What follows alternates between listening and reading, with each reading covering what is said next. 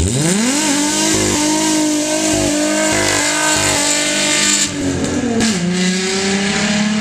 is up guys? Today I want to make a video giving a huge update on some major changes that has happened with primarily the Eclipse build and also a couple of other things including the Mustang. I'll get to that later, but the most obvious one since it's the title of the video is the Eclipse going Mega Squirt. Now before I get to that I'm just going to let you know that I've got a cheat sheet sitting over here that's got notes on it so if I look over there to see something I just wrote stuff down so I wouldn't forget because I made this video once already and forgot stuff. So hopefully I can get through this without forgetting anything or screwing up and kind of do it in one take. Eclipse going Mega Squirt. Why? Well, long story short, the ECU that's in at the factory ECU has taken a dump on me. Not only does it have idle issues now, but an issue that I knew of, was aware of, but it wasn't that bad, has become to so bad to the point that I can't even drive the car, which you guys saw in the exhaust video that I just uploaded 10 minutes ago is it shuts the ignition off and stalls the car out. And it's got something to do with the motherboard breaking down in the ECU. I've tried every plug, sensor, inspected all the wiring. Everything is good. It's just the ECU has taken a dump. So the car is going to receive a Mega Squirt. Now I could either buy like a $200 remanufactured one online. I found a few websites that offer them, but they all seem kind of fishy. None of them offer good information on the actual ECU itself. They all have the same generic copy and paste description on each of them, which just makes me kind of sketched out. And none of them, not a single one I found, was specific on whether it's for an automatic or a manual. The only other option that's out there, aside from going Mega Squirt or trying to hope and pray I can find an ECU for a 95 5 speed that isn't already bad, would be to get one from a dealer they went $320 for the one at the dealership here and has a $90 core on top of that. That's a lot of mess. It's a lot of bullshit to deal with just for a stock ECU. The Mega Squirt costs $650. That's with the license included. It's like 590 or something without the software license to tune it and stuff. If you're going to get it, you might as well get the tuning software. You'd be a fool to get it and not get the tuning software to go with it. And if I get it, I don't have to worry about ECU going bad. I can tune it for whatever I do to it. I plan on boosting the car. That's the other reason I'd be a fool to just try to put a stock ECU on it and then try to run an FMU and mess with all that. I would just be a total idiot to go to all that trouble, especially when I kind of planned on eventually going Mega, Mega Squirt on it at some point anyway. Plus, if I get rid of the car, I can keep the Mega Squirt that's in it and I can get it like rebuilt or modified or whatever and run it on any other car that I want in the future. So it's not like it's specific to the Eclipse. And it's made, the one I'm looking at is basically a plug and play setup. It doesn't use the same plug or connector that the factory ECU does, but it just comes with a loom or like a wiring harness that you adapt and attach to your stock harness, or you can make your own. And that's it. They have done all the hard work. All the R and D is done. They've got everything color coded for you. They they looks like they give you good instructions for how to hook it up and everything. I don't know if the colors on the Mega Squirt harness and the factory harness are going to match up, but if you've got the harness off, you can pick it apart and look at stuff because basically all the plugs and sensors on the 420A are power and ground. That's basically all each sensor is, and it's pretty easy to figure out which one is what in that case and it's specifically for the 420A. It's made by Simtech Labs. I had never heard of them, and I was blown away by the fact that somebody actually made a third-party plug-and-play ECU basically for the 420A. I did not think that that would be a common enough thing to mega squirt a 420A for there to be an aftermarket option that's as close to plug and play as you can get without literally being able to plug the thing in and run it. And they've been making this one since like 2012, I believe. It's been out for about five years, so they've had a lot of time to perfect it. It works with everything, including the automatic shutdown relay and the fuel pump relay and everything that's in the engine bay. It uses the entire factory harness, basically the way the entire factory harness is set up.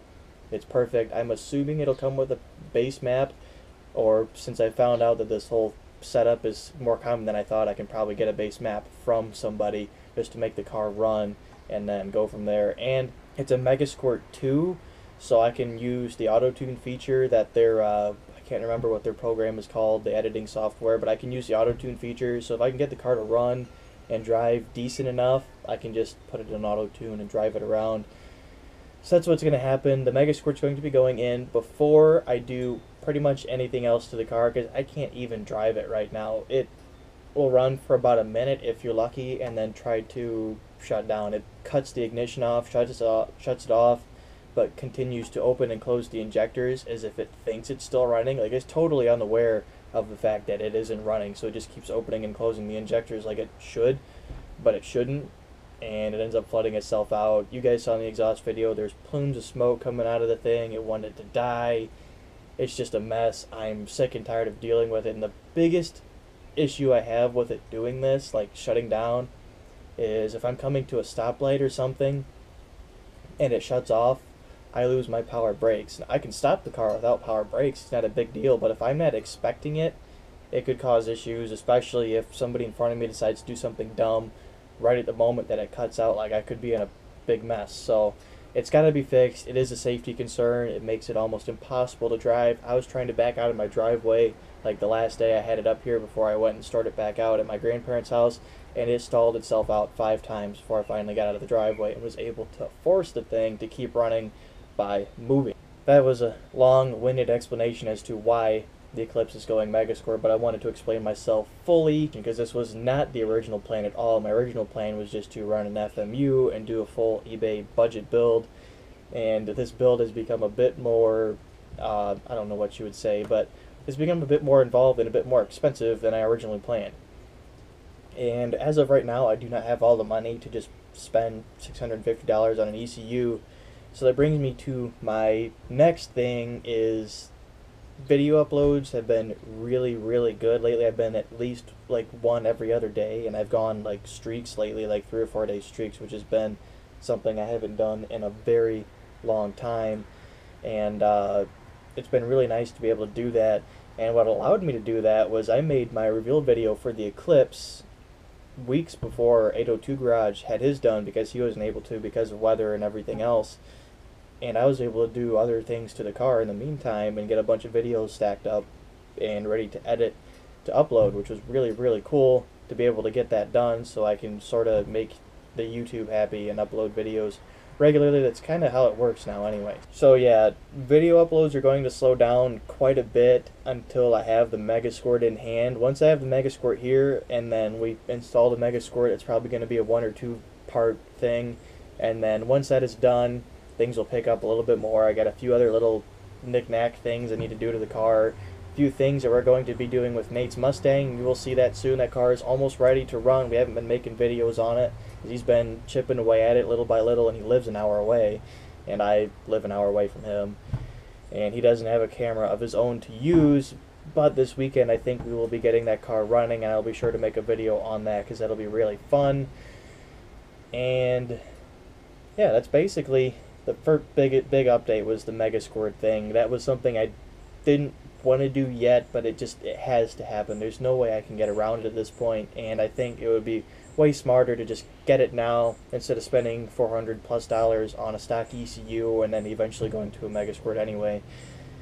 So that is that. Next update, my Mustang, the gray one, the one that was supposed to be the budget turbo build for the channel, that car is actually completely gone now we were using it for parts to put Nate's car together, which was part of the deal as to how I ended up with that car back, and also part of how I ended up with that 2.3 turbo engine, which I still have and I'm keeping and saving for a very special build in the distant future, like a long-term build way later on.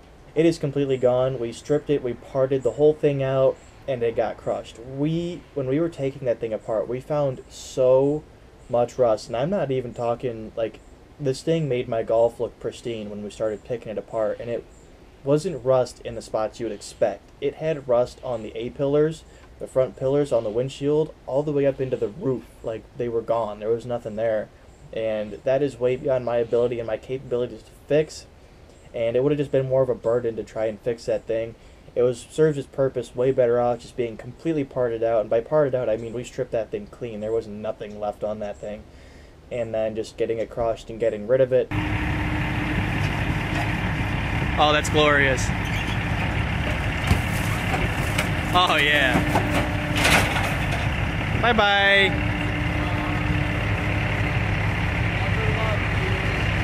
letting parts from that car go towards other people's builds and let it help other people get their Fox bodies put together, like Nate's, uh, for example. So Fox Body is gone. The Eclipse has kind of taken its place as the budget turbo build, even though this budget turbo build has become less of a budget build. It's breaking its budget at this point because $650 for an ECU was not in the budget yet. But anyway, that is that. Mustang is gone. I also now don't have a drift car project, which really sucks. But once the Eclipse is boosted, I will start looking very hard for a new drift project. I may actually pick it up sooner than the Eclipse is done if I find a good deal on one. I know what I want. What I want to get as a drift car is really weird, but uh, it, it may not even be a car. I'll give you that hint. But I really want to get a drift vehicle, especially before the summer's over, so I can run it a few times before the year is over. But the Mustang just couldn't be that car. It would have not have been done this year. It would have been probably not done next year even because that thing needed so much body work to even be fit to drive. It was just so bad. So that's the update on the Mustang.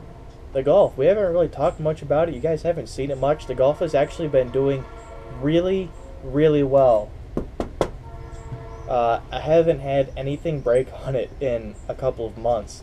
That car is the reason that there hasn't been a whole lot going on because I bought that car and it was supposed to just be a daily driver, and then I was supposed to either pick up another project or work on a Mustang, and that thing ended up drying my wallet up so fast because everything went bad on that car. You guys already have a pretty good idea, but I've replaced CV axles. It's got coilovers all the way around it because the shocks and springs are blown. It's got shock mounts, tie rod ends, inners and outers. Uh, we've fixed oil leaks. I've redone the exhaust a hundred times. We've done a ton of brake work to it. We've done a ton of rust work to it. Piecing the interior back together. I had to put a new windshield, new hood on it, all kinds of stuff. And it just kept emptying my wallet every time I tried to get it done. But now it's been good. Knock on wood again.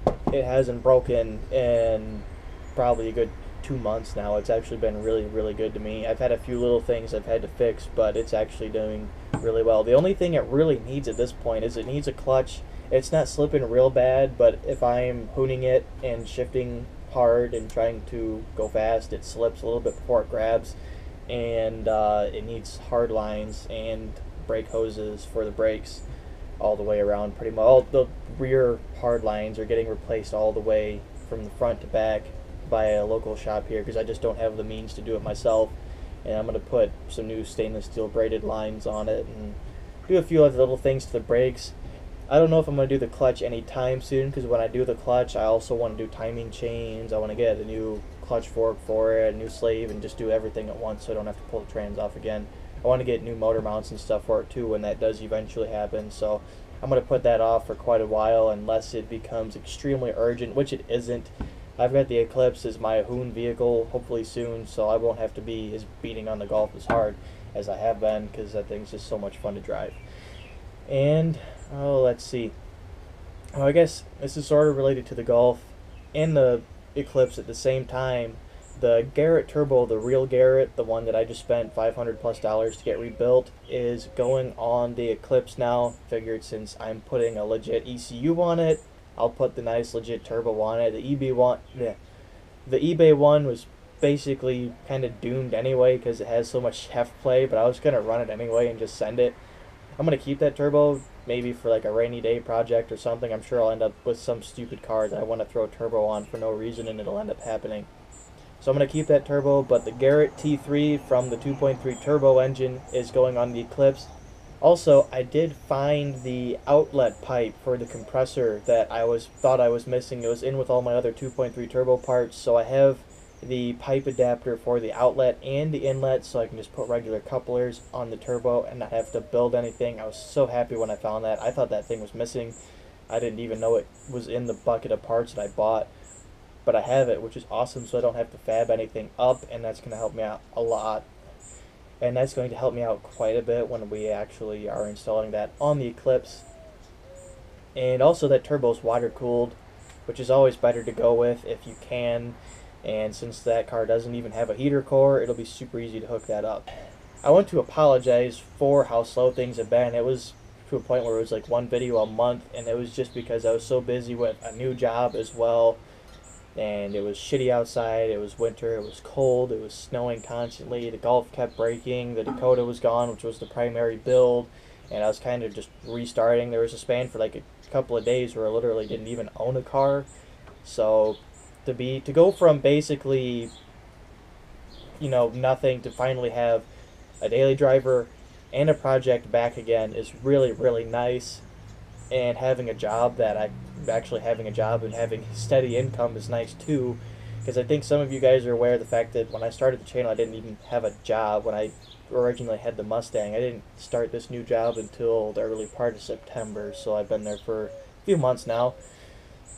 So yeah that's been a pretty big update this video ended up being really long if you guys stayed and made it all the way till the end of the video, go and just type something really weird and nonsensical in the comment section. I'll know what's going on if you made it all the way to the end. Big thank you for those of you who did make it to the end. And if you did make it to the end and you haven't subscribed to my channel already, make sure to do that. Make sure to hit the like button on the video. And I hate to be this guy, but I'm going to do it anyway just because I've never mentioned it before especially with how slow we have been. A lot of you guys, I think, haven't been getting notifications for these videos since we were basically dead for nearly five months on this channel. Uh, YouTube does a thing where it just doesn't tell you that we're uploading stuff. Basically, YouTube gives you notifications for channels that you click the bell on or for channels that you watch a lot. And nobody's been watching this channel a lot because we haven't been doing anything. So if you want to get notifications for when we upload a video and you haven't been, click the bell below. And if you haven't clicked click the subscribe button, also click that one and click that like button. That's over to your right as well. And leave a comment. Let me know what you think. If you're excited about what's going on, let me know. I like getting feedback from you guys. If you have any suggestions for some things that I can do that maybe while I'm not working on a car or modifying anything, if you have any suggestions for some other videos you would like to see me do, maybe I could do something weekly or something that, or I'm not necessarily working on a car, but I can just sit down and talk or do something else. Uh, let me know. I would definitely be open to suggestions for anything like that because I really want to have something to do. I feel bad for not uploading regularly, but I just can't with how busy I am and with you know the way things have been in the last few months. But the weather's cleared up. I have a project car. We're getting other projects done. We're finally back in full swing again. I'm loving it. I'm enjoying it. This has been so much fun. I've had more fun in the last month than I with this whole YouTube thing than I have with anything else in the last few months. This last winter sucked ass. So I'm really glad to be back. And the final thing, I did forget this, and I'm going to mention it now, is you might have noticed the editing quality has gone up significantly. Both the actual quality as far as like how good of a job I'm doing and the video quality itself has gone up significantly. I've switched editing programs. Big shout out to 802 Garage for suggesting the program VideoPad to me. I was able to get that, and it is a way better program than what I was using. The program I was using before absolutely destroyed the quality of the videos. It was laggy, it crashed on me all the time, and it just made editing so frustrating. And now with VideoPad, it's been an absolute breeze to do, and the video quality has gone up so much. I'm so happy with how the videos look now. We are finally uploading in full HD, which is something we have never been able to do because of the shitty program. I've had a number of people that have asked me why, and uh, I still struggle a little bit with the editing because my computer is 10 plus years old and it doesn't like the high definition GoPro footage very much, but I make it work. We won't be having any more shitty 720p or whatever the fuck it was that we were uploading in before. It's all going to be full HD, full widescreen. We aren't going to have that stupid black frame around the video anymore that I used to have. And yeah, that's it for this video, guys. This video ended up being way longer than I thought it was going to, so thank you very much for watching to the end. Like I said before, make sure to hit that like button, make sure to subscribe, make sure to hit the bell if you want to get notifications, and I'll see you guys later.